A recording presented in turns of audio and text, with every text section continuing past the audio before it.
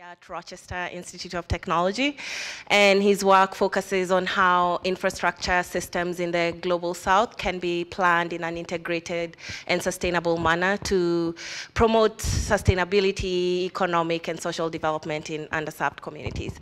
So um, today he'll be talking about how to electrify a country in the 21st century. Um, over to you. All right, thank you, Jim. Um, yeah, so I'll talk a little bit today about my work on sort of electricity access, particularly in sub-Saharan Africa, but first taking a look back at how electrification happened um, in this country. And you know, what can we learn? What have we learned over the last hundred years that might inform doing things differently um, in countries that haven't yet achieved universal access? Um, really excited to be here. Um, I think audience is mostly undergraduates, I understand. Who here is from Washington State? Local folks? Anyone from Longview by chance? I'm curious. No? No Longview people.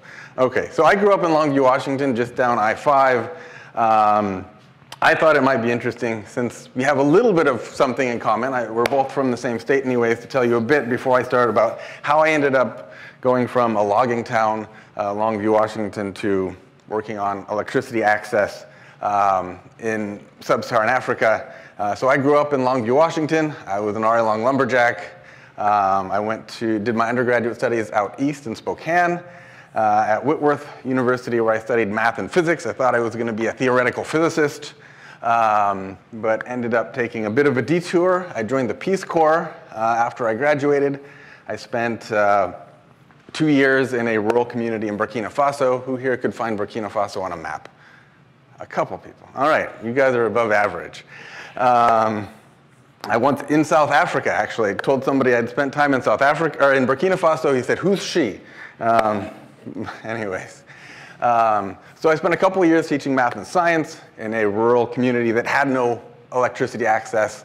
I ended up building a little small solar home system um, to have lighting and, and you know, power my radio. But that's where I really got interested in energy and energy poverty and how even just a small amount of electrical energy, for example, can go a long ways in improving people's quality of life. Um, and then I ended up sort of getting um, sucked into Africa. I did a master's degree at Nelson Mandela University in South Africa, uh, where I was studying um, sort of small, decentralized renewable energy systems. Um, met my wife and stuck around a lot longer than I intended. Spent several years developing utility scale wind and solar power projects um, in South Africa, um, and then went back to graduate school uh, to really study how, how can we use decentralized renewable energy technologies um, to address the energy access challenge um, across the world, and particularly in sub-Saharan Africa.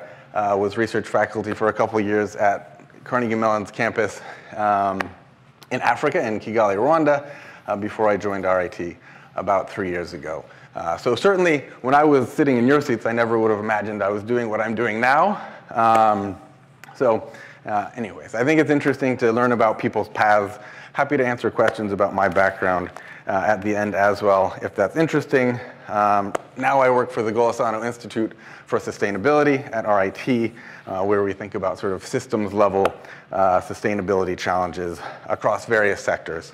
Um, I assume you all sort of know generally what sustainability is, um, but we think about it as having sort of uh, three main components, the sort of triple bottom line aspect here, uh, that we need to both uh, protect our environment, um, you know, make sure we're not uh, using our resources unsustainably, but we necessarily have to do that in a way that's economically sustainable um, but really the goal here, at least from my perspective, which is a bit anthropocentric, uh, is that we're doing these things to advance our social goals, right? Making sure that uh, we have societies uh, that provide for all people's needs um, and do so in sort of an equitable and just way. And so a lot of the work that I do focuses on uh, the Sustainable Development Goals. Who's heard of the Sustainable Development Goals? Some of you, it's fairly Familiar concept? That's good. Um, not every room that I've been in is familiar with the SDGs. Um, so I do a lot of work focusing on SDG 7, which focuses on um, access to clean and affordable uh, electricity uh, for all, uh, but it intersects a lot with some of these other goals too, which I'll touch on a little bit as we go. Um, so jumping into the main topic here, um, you know, how many of you are actually familiar with how electricity expanded across the United States? Is that a history that some of you are familiar with? It's such a big room. Normally I would ask you this, but you're like a mile away.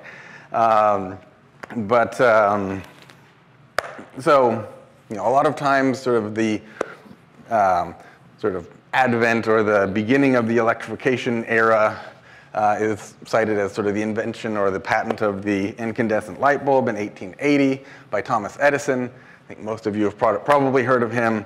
Uh, and it started off very small scale. So early users of electricity sort of had these small decentralized electricity generators uh, powering primarily light bulbs. This started out uh, in New York City. This is on the top right here, a depiction of the Pearl Street Station, which was the first commercial power plant um, commissioned in 1882.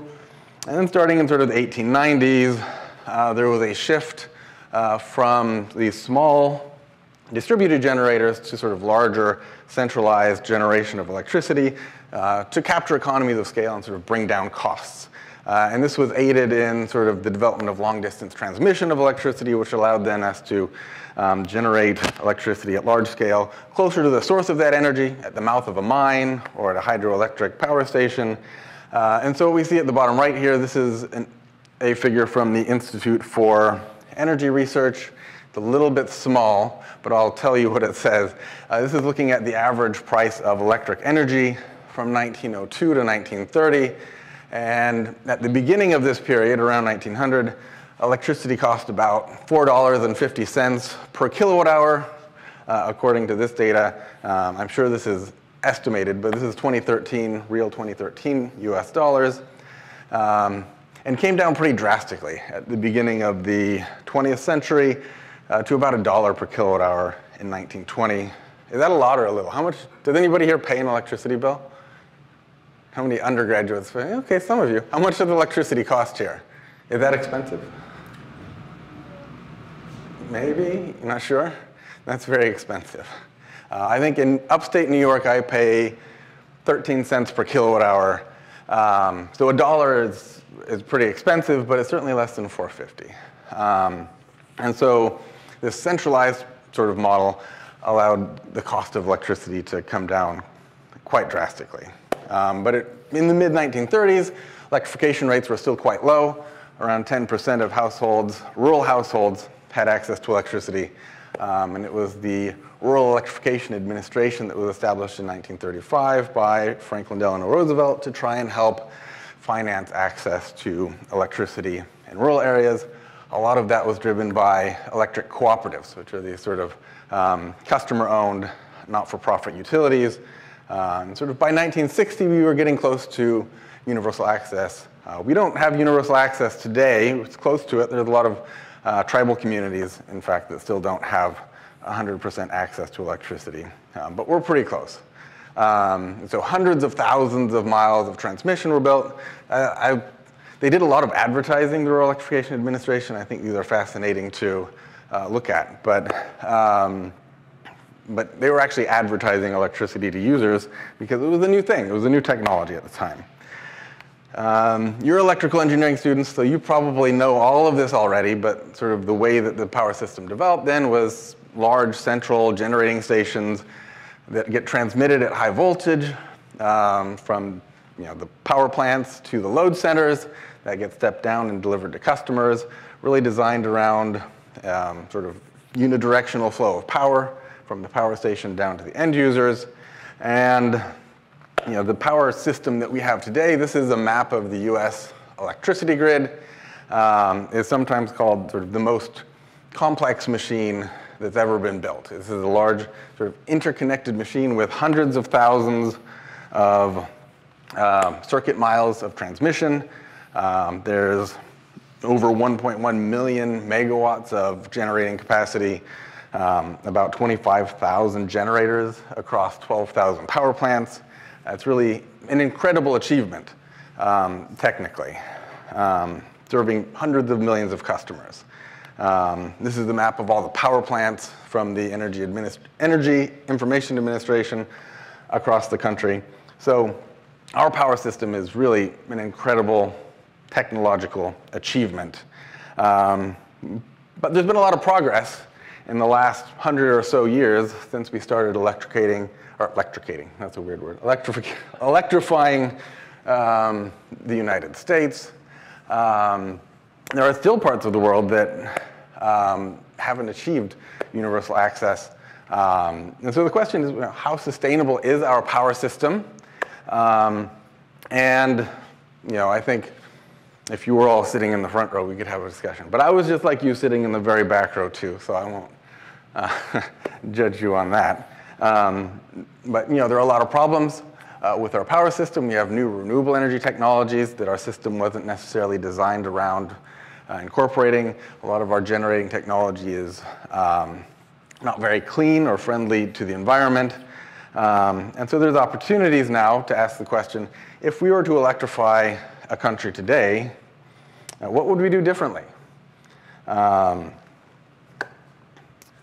I'll let you think about that and we can have that discussion as we go.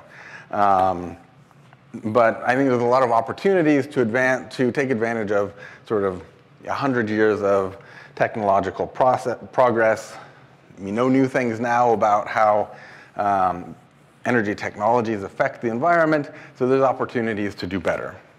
Um, and so this leads to this idea of sort of technological leapfrogging. I don't know if this is a familiar concept, um, but sort of in development speak, the um, traditional way of thinking is that developing countries are these sort of lagging economies and that they catch over catch up over time by sort of following the path that was charted by um, developed countries, as we call them. Um, and, but there's this opportunity then that countries can sort of skip steps, that they can leapfrog um, by skipping some of these um, technological stages, excuse me, that developed, let me grab some water here, countries followed and, and actually developed more modern um, um, infrastructure systems to support their development. Um, the classic example is mobile technology. Um, this figure here on the left, uh, your left, um, shows, so here in um, this blue line here represents developing countries. The darker gray line here represents um, developed countries. And this is on the y-axis, the number of um, fixed and mobile subscriptions, line subscriptions per 100 inhabitants. Um, and so what we see here, if we look back, who, who has a fixed line telephone? Does anybody have a fixed line telephone? Has anybody ever had a fixed line telephone? Some of you, okay. I grew up with a fixed line telephone. Not that type, I'm not that old. Um, but uh, certainly didn't grow up with cell phones. Um, the number of fixed line uh, self or subscriptions in developing countries was around sort of in 2005, 10 per inhabitant. Um, people didn't have access to uh, telecommunication services. Um, the growth of mobile subscriptions in developing countries was so rapid because it's actually more expensive to develop to you know put telephone lines across an entire country uh, and so you know, the classic example here is that most parts of the developing world leapfrogged fixed line telephones and went straight to mobile. And in fact, this is still somewhat dated. 2009, this is saying that roughly 100 inhabitants per, 100 lines, 100 subscriptions per 100 inhabitants, um, even in the develop, or developing world. Um, and so, you know, phone subscription rates are approaching sort of developed country levels uh, now in the developing world. Um, and so there's opportunities to think about, you know, as with the communications industry, um, how can we do things differently? How can we benefit from these new technologies? Another uh, thing that the mobile revolution enabled in sub-Saharan Africa is a banking revolution. Uh, who's heard of mobile money before? Anybody heard of mobile money? A few people. Um, basically, you can do all of your banking with your cell phone um, in a lot of countries, particularly in East Africa and Kenya in particular. Um, you can pay your taxi driver with your cell phone account. Um, you can pay for your electricity bill. You can pay for your electricity, uh, top up your meter using your cell phone in a lot of these countries. Um, and so a lot of people will actually never have a traditional sort of commercial bank account um, because uh, mobile technology sort of enabled people to leapfrog that fixed infrastructure. Um, and so in the energy sector, there's been a huge, um, there's been huge advances over the last decades, uh, bringing down the cost of decentralized energy technologies. These are sort of learning curves for um, silicon uh, PV modules. Um, in 1976, the cost per watt of um, solar was about well, close to $100 per kilowatt hour. Um, this chart ends, I think, in 2014. I think we're around like 30 cents per watt now um, for silicon PV um, solar modules. Uh, so the cost of this technology has come down drastically, uh, which makes it a lot less expensive to generate, generate electricity uh, in a more decentralized way, in a more local way. Um, we're earlier in the learning curve for energy storage, which is also critical for uh, sort of off-grid electricity. Um, but we're as well seeing um, large drops in the cost of electricity storage. Um, so there's an opportunity here. Um, and there's also challenges that we have here um, in adapting our sort of legacy infrastructure to incorporate these new technologies. Our system wasn't necessarily designed um, for bidirectional flow of power. Um, you know, it's challenging to balance supply and demand with variable and intermittent renewable technologies. Um, our system isn't very smart. Um, I got an email a week ago from my utility in New York saying they're going to give me a smart meter. A lot of the communities that I work with in Africa had smart meters from the beginning. Um, um and we're seeing a lot of, well, let's not go into utility death spirals, but there's a lot of challenges um, in incorporating these new technologies into the existing infrastructure in the United States and other parts of the world. Um, at the same time, there are about 770 million people in the world that still today don't have access uh, to electricity at all. Um, this is actually a picture from when I was a Peace Corps volunteer. It's showing up, it's a little bit dark here. Um, but I had a small 15 watt solar panel. Um, and every night I'd put a, a light outside of my house and the neighborhood kids would come and they'd be able to do their homework at night rather than using kerosene lamps, which are uh, both expensive to fuel, uh, the light is poor quality, uh, it emits particulate matter, which is poor for respiratory health. Uh, and so a small 15 watt solar panel can go a long ways um, in changing um, people's quality of life. Uh, what we might, well, depending on how quickly I go here, come to is also thinking about how can we not just improve people's quality of life, but improve their livelihoods and um, support productive use of electricity. Um, this is a little bit dated at this point, but uh, the point remains. Um, this is data from the International Energy Agency. On the left, this is the number of people without access to electricity in different regions of the world. Um, Sub-Saharan Africa is in red, India is in blue, uh, green is other parts of developing Asia, we have uh, Southeast Asia in yellow.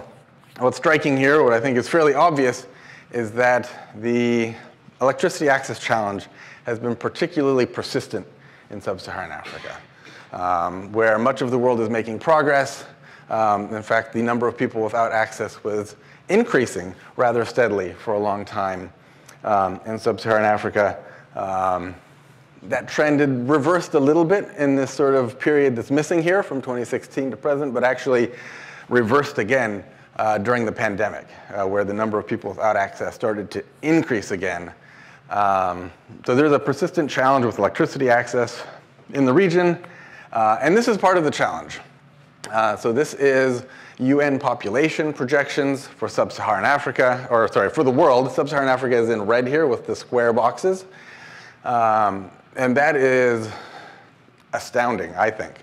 Um, basically, the expectation is that the population of Africa uh, will be rivaling that of Asia by the end of the century. By mid-century, the projection is that the population will roughly double to two and a half billion people. Um, and so this is a different way of visualizing electrification. This is the electrification rate. And whereas we saw that the number of people without access was increasing, the percentage of people with access actually has been increasing over the same period.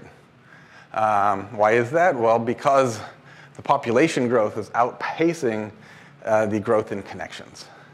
Um, so this is a huge challenge for governments to provide infrastructure, not just for the population today, but for the population in the future. Um, uh, beyond that, uh, so this is, I think this is a very interesting table here. Let me take a moment to explain it. Uh, on the left here, this is population without access. So the red here is mapping where most of the people without access to electricity um, are living. Um, on the right, uh, this is a survey from Afrobarometer that looked at um, the quality of electricity connections. So uh, this is going from 0 to 100%. The dark green are people that said they have connections to electricity and it works uh, most or all of the time. In the lighter green here, they have a connection, but it only works about half of the time, occasionally or never. Uh, and in the purple here, these are people with no connection at all. Uh, so one thing to note is that Africa is a continent. There's 54 countries. The situation in these countries varies vastly. We can't generalize as much as that makes it easier. Um, but we see, one, a segment of countries that have huge fundamental access problems where the network or the system is not reaching people at all.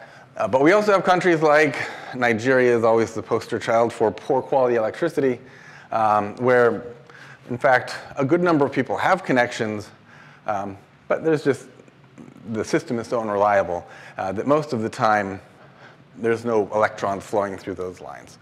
Um, so there's challenges, but there's also opportunities, right? Um, and because the continent is not unconstrained by legacy infrastructure. It's not as if there's no development at all on the continent. And I want to be careful not to paint a very dim picture that it's just a dark continent where nothing's happening and people live in huts. That's not true at all. Um, but there is a deficit of infrastructure which provides opportunities to think differently about how to um, provide access to energy services uh, for people on the continent uh, that supports development goals. Um, and so one of those areas is thinking about um, moving away from this centralized system um, that we have here and thinking more about um, decentralized technologies to provide access to people, at least initially, um, to electricity services. Um, and so, you know, sort of the traditional model is to have the centralized system, which expands from sort of the inside out. Um, but the sort of technological advances and cost um, decreases in a lot of these particularly renewable um, technologies like solar um, puts in play other alternatives to the central grid. Think like mini grids, which are sort of uh, community level power systems. They generate their own electricity locally. Um, solar home systems, which are decentralized again to a household level, and then down to sort of pico solar devices. Um, and so which technology makes the most sense depends on things like how close are people living together, what's the density of load, um, does the load density justify building out a fixed network, uh, how close are they to existing grid infrastructure, and how much electricity do they use. And one thing that we see that I'll touch on is that a lot of people, when they first get access to power, um, use very little um, of it, which begs other questions, but we'll get there. Um, so, you know, when I say solar home systems and pico solar devices, these are things from portable lanterns with integrated solar panels and batteries. Sometimes those can also charge your cell phone, all the way up to larger household systems that can power small devices like maybe a small refrigerator, televisions. But they provide different levels of service a lot of the work I do is within the sort of mini grid or microgrid sector. And there's a lot of interesting things. Actually, I could give a lecture on this too.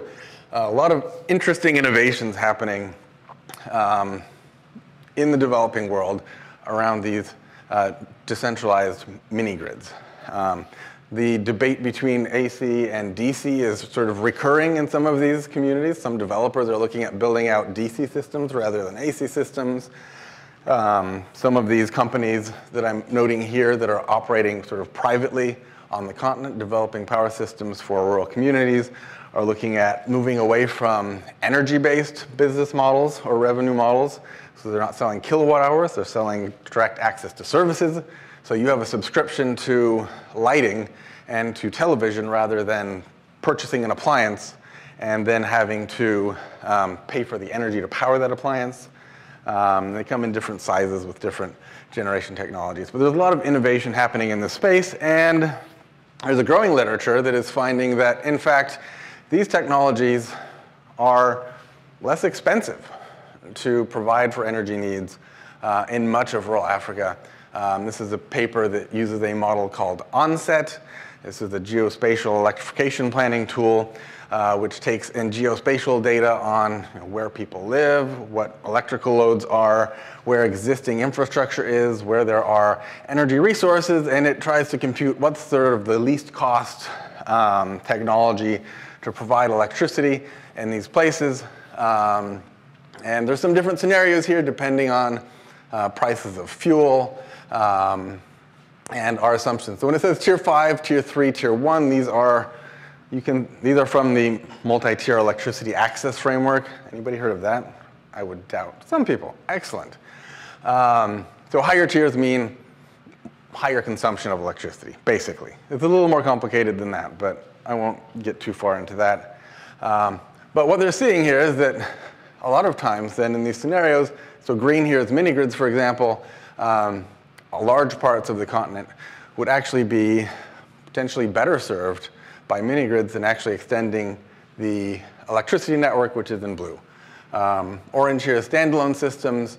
Uh, you see a lot more standalone systems, for example, when you have lower levels of electricity consumption in tier, tier one and three. Um, so there's a lot of work that's been done looking at what actually would be economically the best way to approach electrifying countries today. Uh, we did some work in rural Kenya in Mombasa County, um, trying to understand uh, essentially how much money are utilities losing by extending the grid to rural communities. Um, essentially what we did here is uh, we had physical infrastructure data, so we had geospatial data on the electricity network. Uh, we could estimate the cost of that infrastructure and allocate shared costs um, between communities by connection. And let me explain this figure because it's a little bit complicated. Uh, but basically, uh, above zero, we are looking at revenues normalized to one. Um, the normalization factor is the total cost per connection in these transformer communities. So we did this analysis on the level of a rural transformer.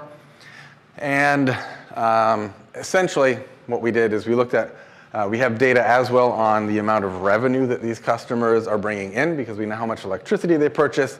And you can compute the net present value, the difference between costs and revenues. And for the vast majority of these, um, we found that utilities are losing about on average $5,000 per connection over the lifetime of connection by expend, extending the electricity network. This is just accounting for cash flows, the revenues. Um, and so in the, shades of gray here are harder to describe, but the, the top uh, part here is basically computing the difference between costs and revenues. That's the implied subsidy that these customers are getting. Uh, we can see only a fraction of these 130 or so communities actually make a profit. That's that little gray triangle at the top. Um, but what's happening here really is that um, transmission costs are very high relative to the amount of electricity uh, that connections are consuming. And so as part of this analysis, we looked at those very same communities and said, well, what if we built a decentralized system, a mini grid uh, to provide access instead. Uh, how do those costs compare? Um, and we found that a minority, I think it's around 37% of those communities would have been lower cost electrified with mini grids. Um, but in terms of cost, um, those communities that would have been better off with mini grids represented 54% of the total subsidy. So these communities are disproportionately expensive to serve. Uh, sort of the average subsidy that we computed for a mini grid is around $3,300 or $3,400. Um, and so we could be allocating uh, resources much more efficiently if we think beyond this traditional approach of extending the grid.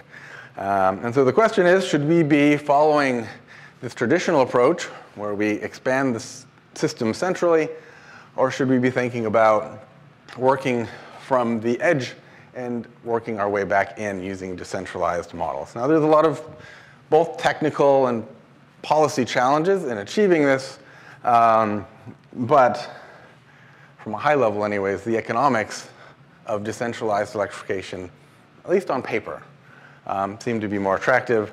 Um, this is recognized by the International Energy Agency. Um, this is, I mean, not getting into the weeds on what these different scenarios are, but basically what they're saying is if we are to achieve universal access by 2030, uh, we need to be investing very heavily in mini grids and standalone systems um, to achieve that goal. Um, so it sounds great. Um, if this decentralized approach is the best solution, why isn't it happening? so today, well, AMDA is the Africa Mini Grid Developers Association, which I do some work with. They estimate that about 500,000 people are served by mini grids in sub-Saharan Africa. That's compared to about, now, and this is a global number, um, but 500 million people uh, globally that are being served by solar home systems.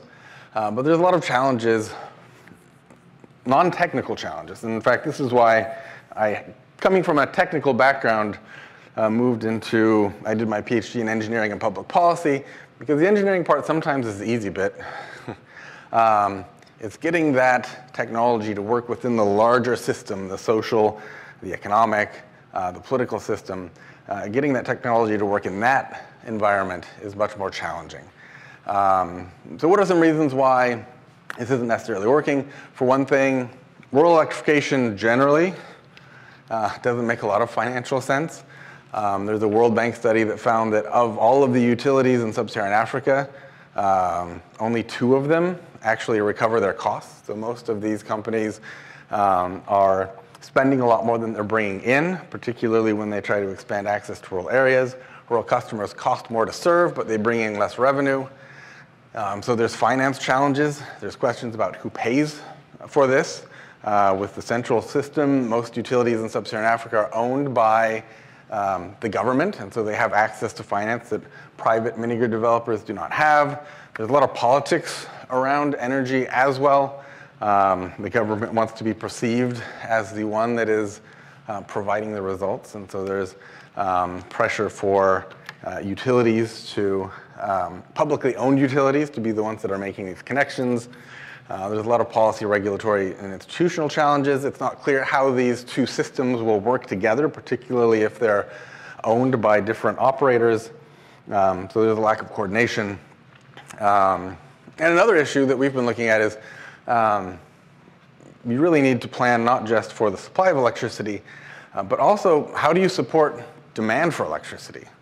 Um, here, our sort of need or demand for electricity is already developed. And these communities that have never had access, their lifestyles are designed around not having electricity. Um, they never have had it. And for this reason, a lot of times when we move into new communities, electricity consumption is typically very low. Um, this is a paper from one of my colleagues, uh, Simone Fobi, et al., that looked at um, electricity, median electricity consumption per month um, in rural Kenya. This is divided by year of connection. So looking at when were these customers actually um, connected to electricity service.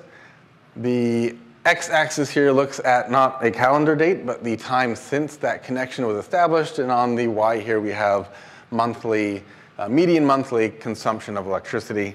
Um, and so what we're seeing here is that um, for older connections, uh, roughly 30 kilowatt hours per month uh, is typical. That's not a lot of electricity. Does anybody here know how much electricity they use in a month in their household? No? Nobody. Okay. I use a lot more than 30 kilowatt hours. Um, but as we move further into rural areas, if we look at more recent connections, some of these people are using you know, 15 to 20 kilowatt hours uh, per month total electricity. Um, we've done similar work using utility data from Rwanda. There it's even lower. Seven kilowatt hours per month is a typical rural household connection. Um, this is data, this is on a log scale here. Uh, apologies for that. Um, but this is mini grid electricity consumption in Tanzania. Um, and so two here would represent 100 watt hours per day. The average consumption of electricity on these mini grids uh, is somewhere around, I think, 140, 150 watt hours of electricity per day. Um, keep in mind the price point is very different here. This is a grid connected situation. Uh, electricity prices on some of these mini grids is closer to a dollar per kilowatt hour um, simply because low consumption divided by a large fixed cost to distribute energy uh, means that the cost per unit is going to be very high. Um, so there's a big challenge on the demand side. It's not just about supplying connections, it's about enabling people to use those connections, uh, both for social reasons, uh, but also for economic and productive reasons. And this isn't a new problem. Um, I find this fascinating as well. Um, when the United States was electrifying, the Rural Electrification Administration did road shows where they would advertise appliances in rural areas, telling people how great electricity is. Um, we sort of take that for granted now. These are posters on um, advertising the use of electricity um, in the United States, and I think probably the 30s and 40s. Um, in fact, I think you can find some videos on YouTube too, um, advertisements from the Rural Electrification Agency. Um, so one of the questions we try to answer is, what's preventing people from actually using this electricity? We have this assumption, I think maybe, and this is one of the challenges in working in different communities and contexts, we come in assuming we live with electricity and it's fantastic. And of course, everybody's going to want it and they're going to use it in large quantities.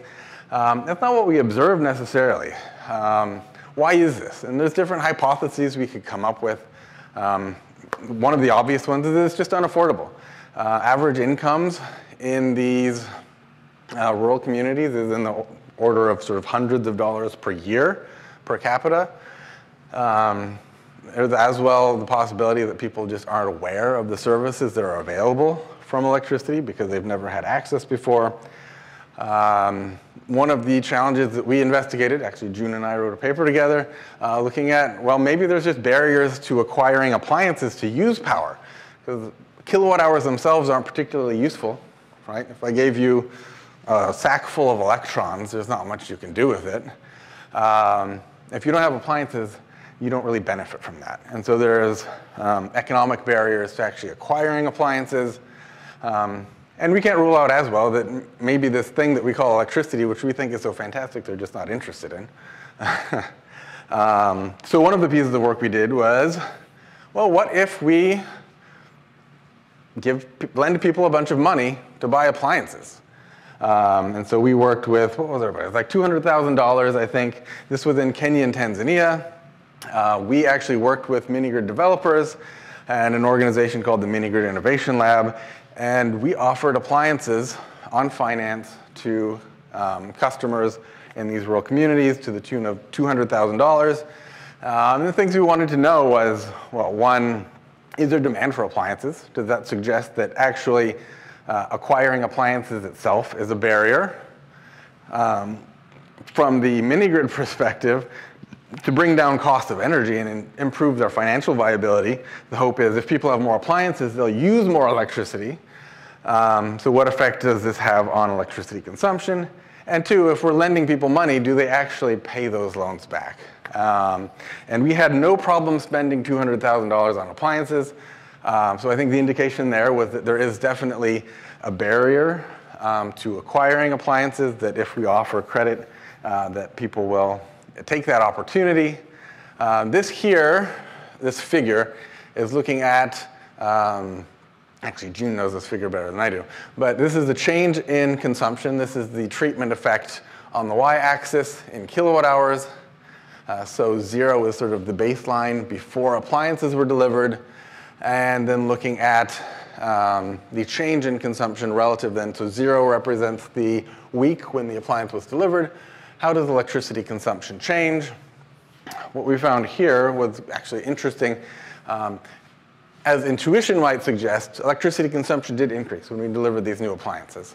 Um, but what we see is that over time, uh, we see a regression in that electricity consumption um, back closer to sort of original um, electricity consumption levels. Now, we don't necessarily have data to uh, test why that is. Um, some hypotheses are, well, uh, first of all, electricity in these communities is prepaid. Um, and that's typical on the continent, is that you purchase units of electricity before you consume, consume them. Um, people don't necessarily know when they get a new TV how much it's going to cost to power that television. Uh, and so over time, people adjust the way that they use electricity. They adjust their behavior to this new appliance, and because they are budget constrained, they simply redistribute their electricity use between those appliances to fit in that budget. And so the effect on actual electricity consumption overall um, might be limited because of that. But we also saw that this effect varied by type of appliance, and that if you look at appliances that are used more typically for income generation, uh, things like refrigerators, which you probably think of as more of a domestic appliance, but in a lot of these contexts, refrigerators are used um, in businesses that are selling products like cold drinks. Um, that those appliances saw more sustained changes in consumption.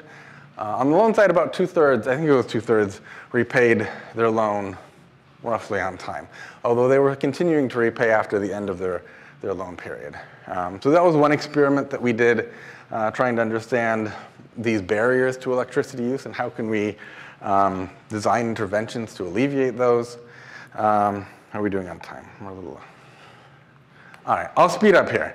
Uh, other, other piece of work is thinking about how do we co-plan between infrastructure systems and services. Um, the idea being that electricity, again, by itself is not that useful. Um, it's what we can do with that electricity. This is me trying to farm in Burkina Faso when I had more hair, um, when I was younger. Um, so the idea here is that really we need to think when we're planning not just about how to supply electricity, but how it's going to be used and how do we support that use. Uh, we've done some work trying to map out um, potential for irrigation, for example, small-scale irrigation. Um, because of time, I won't go into too much detail, but, but what we're doing here is trying to map out the technical and economic potential uh, for irrigating various crops. So we used a biophysical crop model to estimate uh, water requirements for various crops, um, we converted that into energy requirements based on water resource data. Uh, and then we can do some economic calculations on you know, what's the cost for, for irrigating these crops, because we can as well estimate yields or yield changes due to that irrigation. Uh, and we have a factor here where we're looking at water availability. Um, so how do we factor in or plan across sectors um, so that we're not just supplying electricity, but providing opportunities to use that electricity? Um, so this is my last slide, we're almost there. Um, pulling things together, so I guess the question here from the beginning was, um, are there opportunities for African countries to leapfrog to more decentralized electricity systems? Um, I don't know that I have the answer to that, but I think there's opportunities. There are a lot of practical challenges.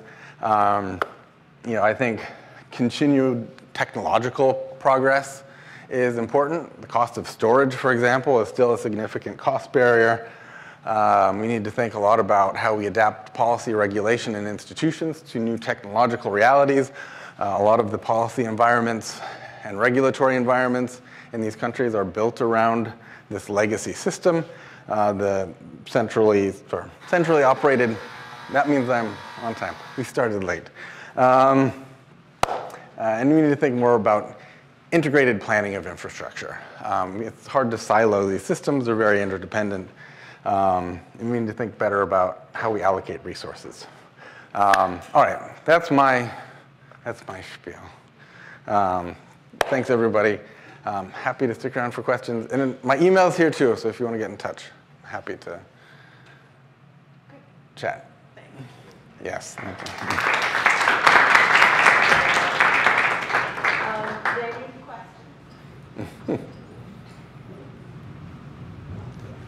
Could, you describe a little bit the appliances that you were providing in this yeah. experiment? Yeah. So we didn't necessarily restrict what appliances could be acquired. It was sort of left to the customers. Uh, I think the biggest seller was televisions. Um, a lot of these communities are very rural. There's not a lot of things to do in your spare time, so a lot of people acquired TVs.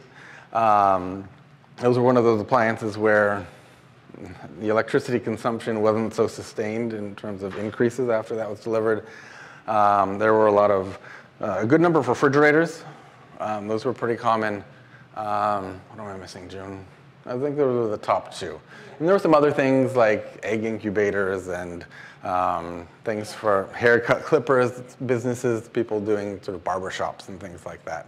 Uh, so smaller appliances. Uh, blenders, there were some blenders too, um, like making smoothies. uh, um, yeah, but TVs far and away are the biggest seller. Some of those could be productive because actually some of the largest consumers in these communities are video clubs where people come and watch the Premier League on the weekend and drink cold beer from the refrigerators. Um, that's the, the place to be, but yeah. All One right. last question. One question from you, all right. Yeah, I'm curious, are there any, like, learning from the history of the US and how electrification happened, are there some, like, lessons learned that would be important in the context of, like, sub-Saharan Africa, especially Yeah. in how systems are governed? I think a lot of, like, the government too heavily Governance, for lifted in that sure. But, yeah. Yeah, no, absolutely. Um, I mean, on the governance side, or just the organizational side, a lot of electrification in the United States was co-ops, these sort of um, customer-owned utilities. Currently, the mini-grid sector is very much driven by private developers. Um, I think there's challenges there in their ability to raise finance. Uh, there's a need to engage communities more deeply um, in that way, and so I think there's potentially things to learn from the co-op system, for example. I don't know that you can copy and paste it into a new context, uh, but there's some interesting things to learn there. Uh, and that persists today. I mean, there's a lot of communities in rural Alaska which are isolated systems just because they're so remote. I've visited some of those um, that are community-owned cooperatives that provide their own provide for their own energy services, right? And of course, they're the ones that understand their needs the best. Um, but there's challenges with skills and financing with that sort of model too. So there's some thinking to be done there. Um, yeah, but even on, I mean, I think oftentimes people doing this work think it's, think it's so novel. We're doing this really exciting appliance finance innovations, but actually we've kind of done this 100 years ago. We just forgot. Um, the context is different, right? Um, but certainly there's plenty to learn from the past. Yeah. Yeah. Uh, I don't know how, I'm gonna just speak about it. My question is about the different like stakeholders and how do you approach work like this that has such sort of a massive scale of different stakeholders? So like working at a university, working with the companies, working with the customers, the government, uh, government agencies, like how, how do you approach that sort of landscape of Yeah. large scale research? That's an excellent question. Um, and I think it's something that requires some, some care, as actually June and I were talking a little bit about this over breakfast, in that um, we as researchers come in with our own agenda and we're trying to be helpful. Um, but are we being helpful or are we just taking people's time and spinning their wheels? Um, you know, a lot of our work is not directly with communities, but working with utilities, for example, in these countries, uh, and with the ministries that oversee them. Um, so trying to work through sort of the existing institutions within the country. Um, I mean, we're not trying to be disruptive in that, um, in that way, so it's, it's collaborative. We've done work with uh, utilities in Rwanda and Kenya and Uganda. I've done some work in Ethiopia with the Ministry of uh, irrig- what is it, MOE, uh, water, irrigation, and energy. It's a weird mix. Um, and, and so, you know, we try to partner with local organizations uh, that are doing work. I do a lot of work with off-grid electricity companies, and these are private companies, but they are engaged with their customers. We can help them with some of the technical research side. So, for example, we've worked with a mini-grid developer in Kenya. Um, all of their customers have smart meters. They're collecting hourly electricity consumption data. They know exactly when they top up and how much. Um, it's large volumes of data. They collect surveys. They know a lot about their customers. They're very engaged, uh, but they don't necessarily have the skills and bandwidth to actually explore that data and understand what they can do with it. Uh, and so some of our role has been, you know, looking at those data sets and saying, well, can we make better models of uh, sort of forecasting electricity consumption? So you can plan around that, um, you know, sort of the status quo approach had been, well, we'll just ask everybody how much electricity they need. um, I'm only slightly exaggerating. Basically saying, what appliances are you going to use? How long will you use them? Like people don't know these things, but you've collected all of this data that tells you um, this type of customer, you can expect them to behave this way. So how can we build some sort of data-driven models, applying some very simple ML to make better forecasts, for example, of electricity consumption. Um, you know, so certainly we don't see our role as coming in and um, solving the entire problem, but supporting those people that are already established in those communities um, to support them in that work. Um, and as well, drawing in, like a lot of our, my graduate students come from the continent and they've worked in the industry and they understand that context even better than I do, right? Um, so it's really about partnership and engagement. Um, and there are a lot of stakeholders, so it, it can be complicated sometimes. Yeah, that's an excellent, very insightful question, actually. Um, Thank you.